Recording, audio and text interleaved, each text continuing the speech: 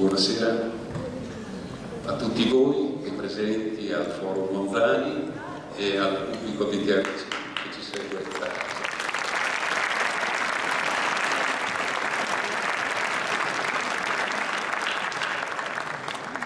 Benvenuti a questo concerto narrativo in occasione della giornata della memoria che come vedete dalla grafica per noi ormai è alla decima edizione. Edizione più sofferta che mai, perché davanti ai nostri occhi continuano a scorrere immagini di devastazione di case, strade che grondano sangue. E allora può sembrare ingiusto volgere lo sguardo indietro,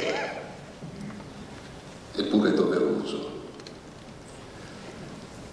sia per una giusta commemorazione di chi subì quelle atrocità, sia per non dimenticare, per non dimenticare quegli eventi, per non dimenticare quel clima di tacito consenso, di servitù volontaria che rese possibili quegli eventi. Ci consente quindi di meglio interpretare il presente e agire umanamente in modo più consapevole. Qualche ringraziamento al Comune di Modena che sempre ci sostiene in questa iniziativa, al Comitato per la Storia e le Memorie del Novecento e ovviamente a Viperbanca che ci ospita in questo meraviglioso foro. E chiederei a Gianluigi Cozza, responsabile territoriale di Viper, di raggiungermi per fare gli onori di casa.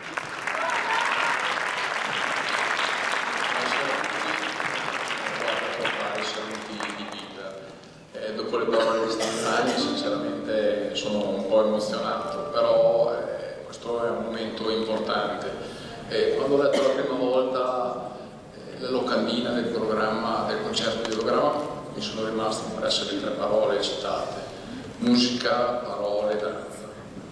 Io ne aggiungerei una quarta che è giovani e una quinta che è cultura. L'evento che sponsorizziamo questa sera nel nostro Biberbank Forum Monzani porta presso tutti questi concetti, eh, concetti che poi si trasformano in valori che sono DNA della nostra azienda.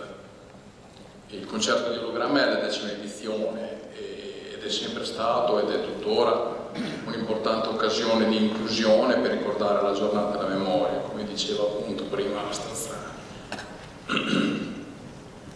Queste, questa situazione qua, queste, queste, attività sono molto importanti per Viper. Eh, la collaborazione con ehm, l'Istituto Meme dura dal, dal 2015.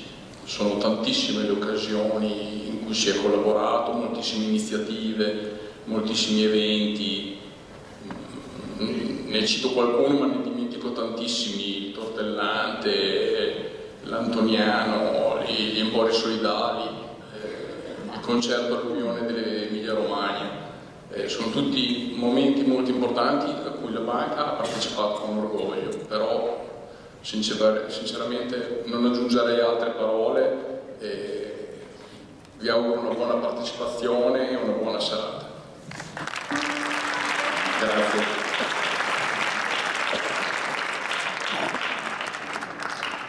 Un altro ringraziamento particolare ad Anna Maria Valdelli, assessore all'urbanistica e alla sostenibilità, al quale chiedo se vuole farci un saluto.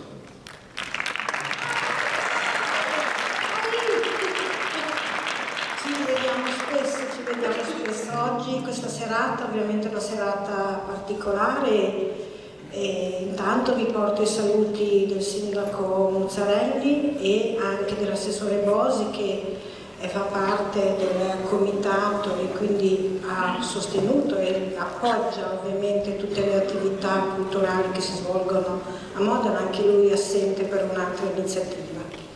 Due parole, proprio due. Eh, io voglio concentrarmi su due piccoli concetti, il mio contributo a questa serata. Giovani e memoria. Intanto i giovani non hanno memoria, la memoria siamo noi adulti, quindi nostra, il nostro modo di essere diventa la loro memoria.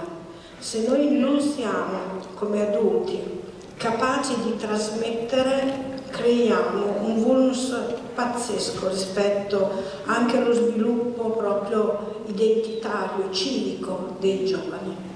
I giovani hanno una passione inespressa che fanno fatica a veicolare nel modo più corretto, lo vediamo nella disperazione di molti giovani, la crescita di molte difficoltà a diventare adulti dei giovani di oggi. Noi abbiamo una grande responsabilità rispetto a questi giovani a cui dobbiamo tracciare, indicare una strada perché poi prendano la loro strada. Ma i giovani hanno dimostrato in tutti i momenti più importanti di esserci. E questa è una carica che abbiamo visto nel recente passato, ma anche più recentemente in molte manifestazioni per la pace o per eh, il senso civico che trasmettono così come moltissimi giovani hanno perso la vita, si sono resi partecipi della resistenza. Ci hanno consegnato il concetto di essere partigiani, cioè non essere indifferenti e prendere parte. Ecco questo i giovani ancora oggi in un qualche modo, in modo spesso inespresso, a volte con difficoltà, a volte in modo contraddittorio, ci chiedono proprio questo, di essere parte di questa società, di poter prendere parte in modo consapevole, aprendo la strada a un nuovo modo di essere più inclusivi, più capaci di costruire una società migliore. È un monito per noi adulti che abbiamo forse fatto tanto, ma negli ultimi 70 anni forse anche un po' eh, accecati da questo lusso, da questo benessere nelle nostre realtà abbastanza diffuso, ci hanno forse deconcentrato dal senso di responsabilità rispetto al futuro.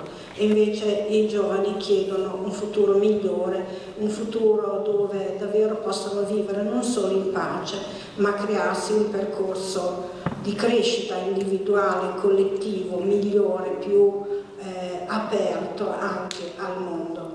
Io credo che la, i giovani che, che ho qui alle mie spalle esprimano con questa loro grande eh, spontaneità eh, e che noi raccogliamo in modo anche molto emotivo, questa grande passione di vivere, di vivere il quotidiano, il momento con grande passione. Ecco, questo è l'auspicio che io faccio, che la memoria diventi passione, di un civismo e di un senso di responsabilità quotidiano rispetto, per rispetto a chi ci ha consegnato questo periodo di pace incredibile, di 70 anni di pace, ma anche per consegnare altri decenni di pace ai giovani di oggi.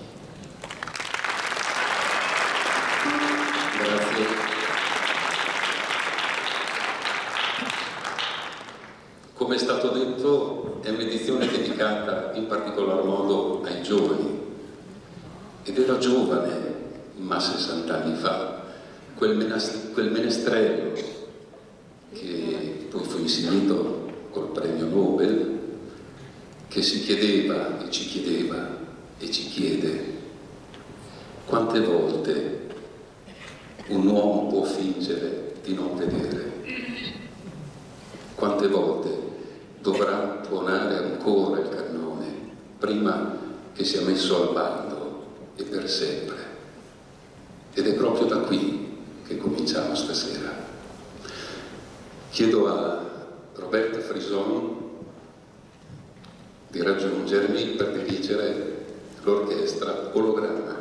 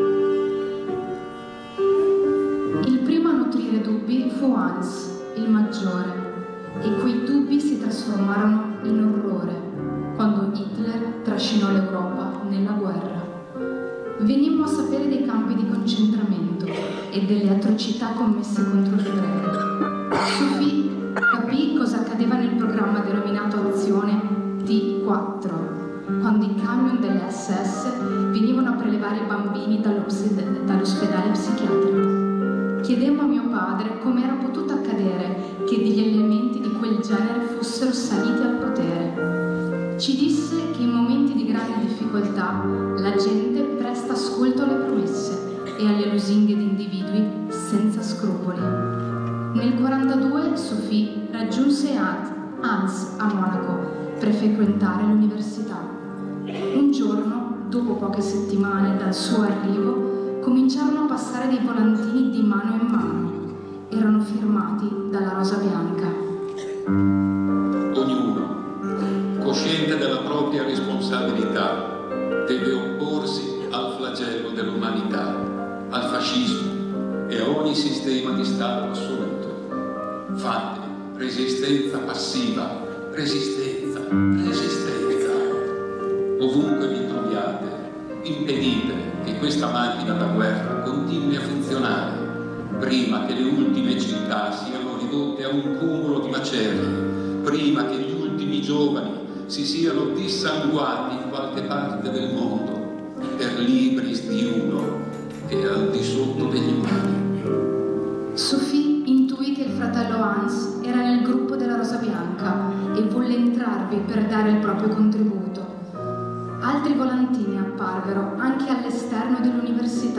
nelle buche delle lettere di tutta Monaco.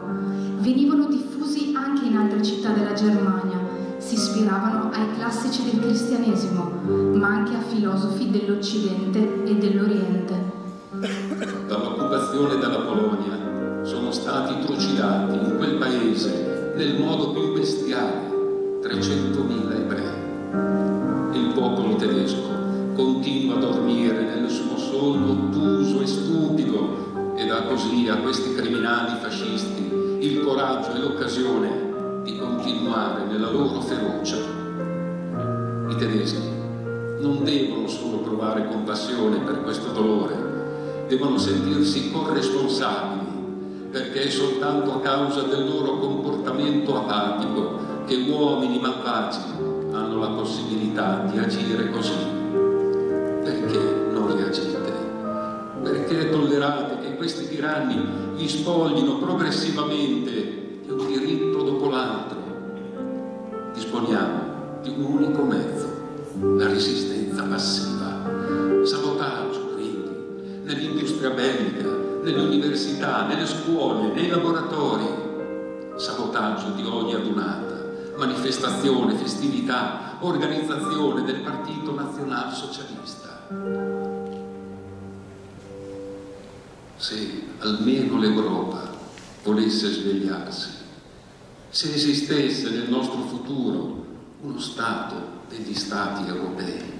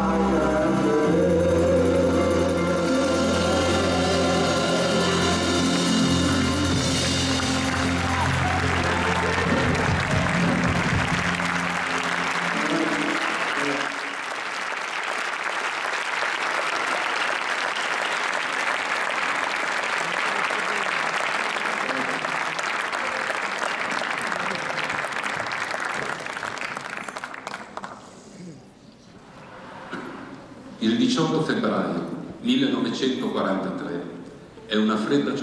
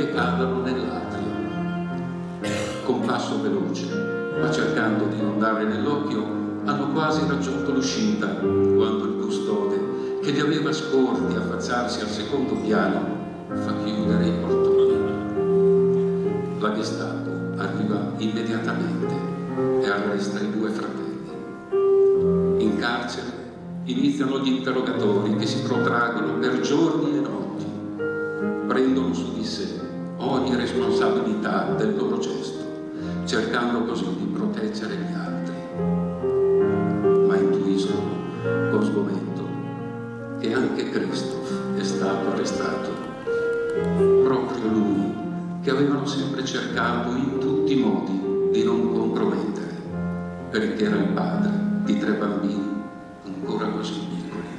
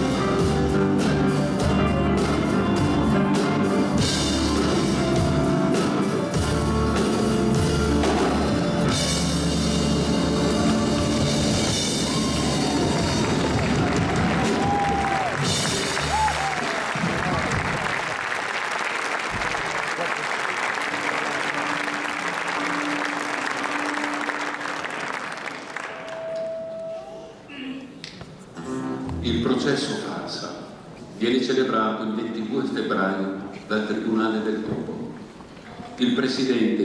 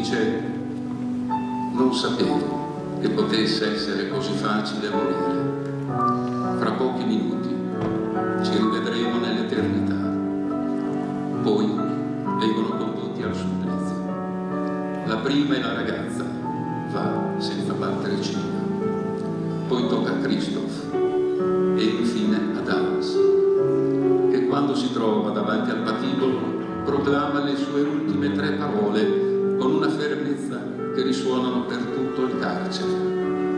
Viva la libertà!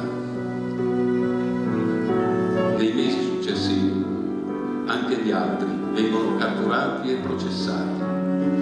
Tra Monaco e Amburgo 15 membri della Rosa Bianca vengono decapitati, altri 38 vengono incarcerati. Tra i condannati a morte c'è anche il professor Kurt Huber, che durante il processo riesce a leggere la sua autodifesa. Nei mesi seguenti la sua arringa viene stampata e lanciata sul suolo tedesco dai bombardieri americani. Oggi in Germania oltre 200 scuole sono intitolate a Sophie Schultz.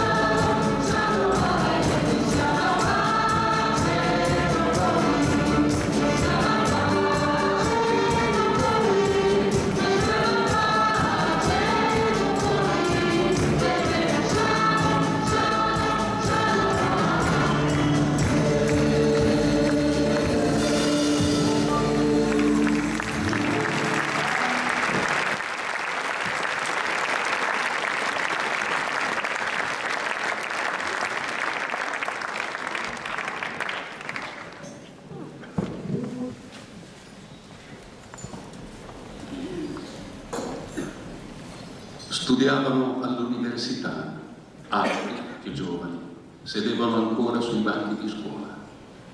Con le leggi razziali del 1938 viene loro negato ogni diritto, cancellati dalla vita pubblica per il solo fatto di essere ebrei, vengono espulsi dall'università e dalla scuola. È così che molti di quei ragazzi decidono di unirsi ad altri e combattere per tornare a essere liberi.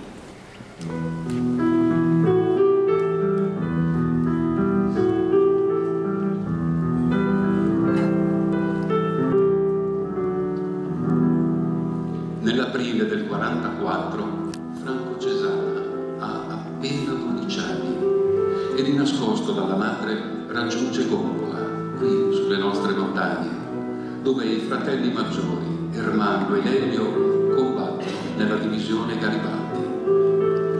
Deve faticare e mentire sulla sua età per convincere il comandante Marcello, che alla fine gli assegna il compito di staffetta partigiana si preoccupa di scrivere alla madre per rassicurarla. Carissima mamma, dopo la mia scappata non ho potuto darti mie notizie per i motivi che tu immagini. All'improvviso senza sapere io stesso che cosa stavo facendo. Camminai finché potevo, poi mi fermai a dormire in un fienile. Al mattino svegliandomi con la fame, ripresi a camminare, sfamandomi con le more. Arrivai a Gongola e lì cercai i partigiani, deciso a entrare a far parte di una loro formazione. Non devi impensierirti per me, che sto da re. La salute è ottima, solo un po' precario il dormire. Chiudo questa mia raccomandandoti alto il morale, che ormai abbiamo finito. Affettuosamente ti bacia e ti pensa il tuo tesoro. Appena ricevuta la mia, bruciala. Ancora ti saluto e ti abbraccio, Franco. Se la sente di bruciare quella lettera così tanto cara, la sotterra chiusa in una bottiglia. Il 14 settembre Pochi giorni prima del suo tredicesimo compleanno, Franco chiede e ottiene di andare a salutare la madre, parte di buon'ora perché vuole rientrare la sera stessa. Credevo di sognare. Mi vedo comparire Franco, così cresciuto in quei pochi mesi, bello, sicuro di sé. Non piangere, mamma, mi dice alla sera nel salutarmi. Ritornerò presto e riparte. Arrivato nei pressi di Gongola, trova i suoi compagni impegnati in uno scontro con i tedeschi. Tenta di partecipare al combattimento, ma privo di esperienza com'è, viene subito abbattuto da una raffica di mitra.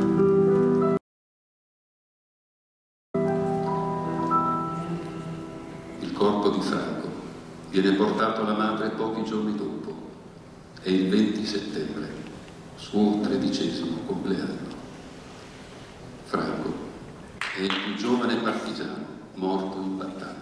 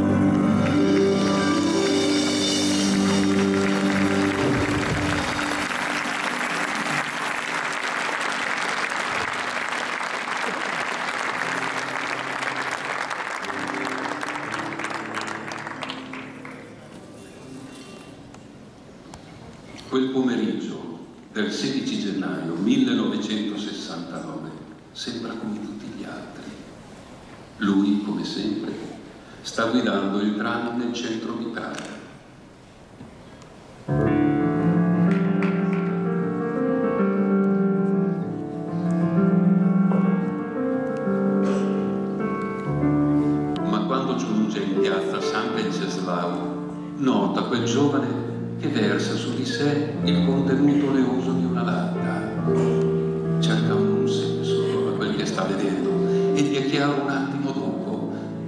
quel giovane divampa come una torcia.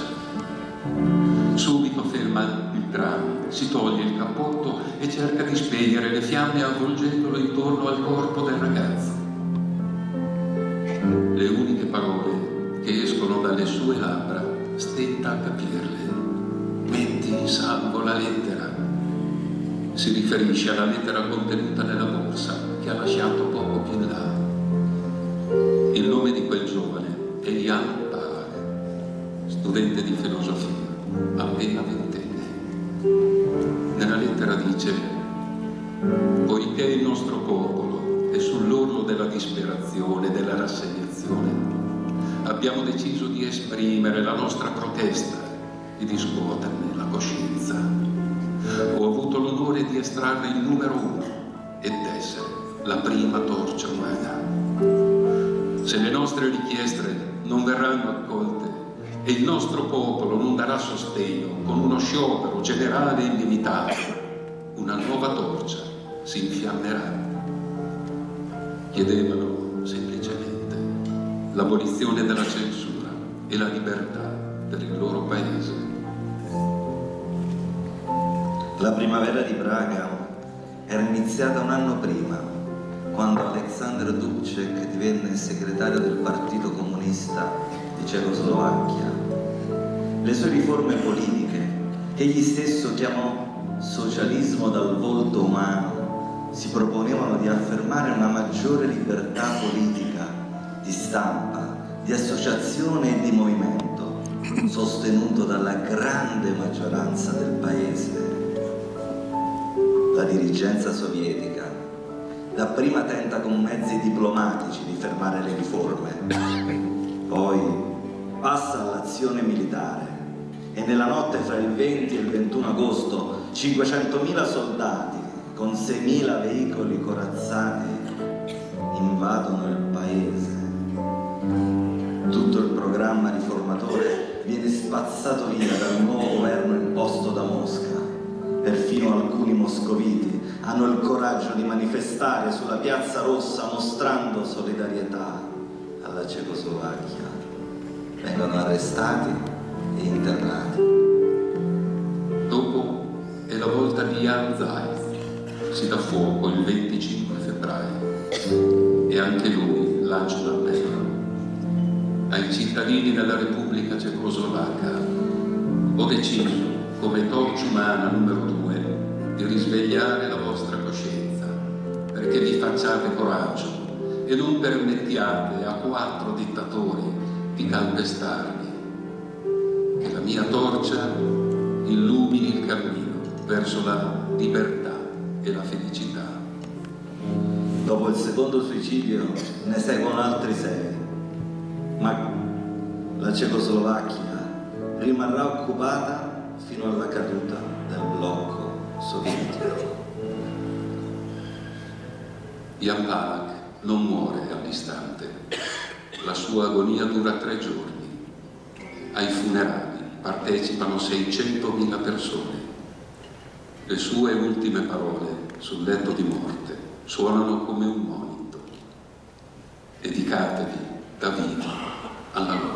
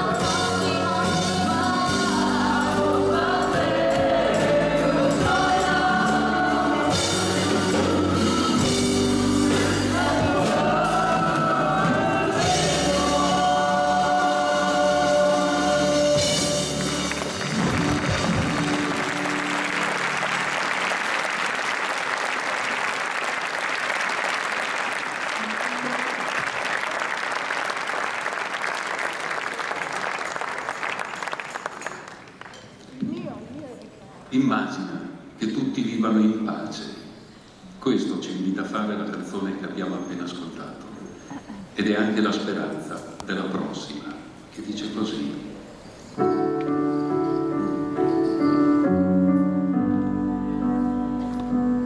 A volte mi stendo sotto la luna e ringrazio Dio di stare respirando. A volte vengo sommerso dalle mie lacrime, sconforto. E quando il pessimismo sta per vincermi, mi dico che un giorno tutto cambierà. Da tanto aspetto che le persone dicano basta, non vogliamo più combattere, basta con le guerre. I nostri bambini potranno giocare insieme. Non si tratta di vincere o perdere, perché perdiamo tutti quando le strade sono bagnate di sangue. Non farti abbattere. Un giorno tutto questo cambierà.